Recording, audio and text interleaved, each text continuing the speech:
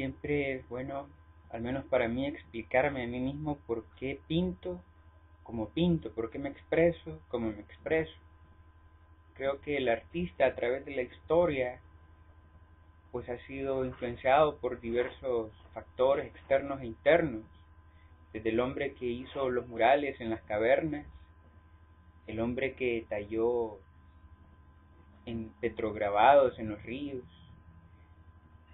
hasta llegar a utilizar alta tecnología en la actualidad, ¿verdad? Radios láser, ácidos. Eh,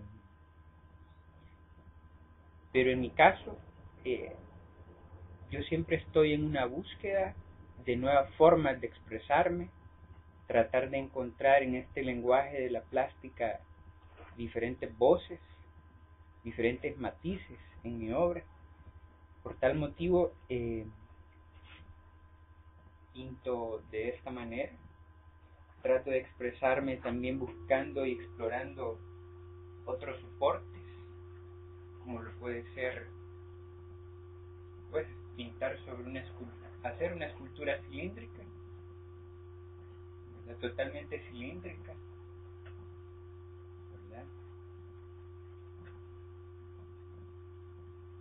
Encuentro otra manera de expresión de esta manera e incluso en un soporte que no es muy muy común, ¿verdad? Como lo puede ser la puerta de un, de un carro. Esta es la puerta de un carro. Pero la puerta del carro a mí me ha permitido encontrar nuevos volúmenes. Claro, ha sido, yo le he aplicado un proceso especial para que la pintura siempre se mantenga el mayor tiempo posible las mismas texturas industriales me han servido como una forma de expresión, ¿verdad? Las mismas donde estaba el parlante, es como una, es una pintoescultura, o sea, es como una escultura que yo he ido aplicándole pintura y color. Incluso,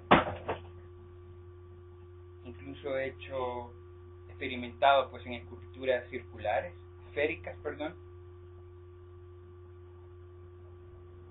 y esto es pues eh, es parte de la búsqueda de, del artista por encontrar nuevas formas de expresión nuevas nuevos horizontes. Yo siento que ese es uno de mis principales objetivos expresarme de formas nuevas encontrar nuevos horizontes de expresión.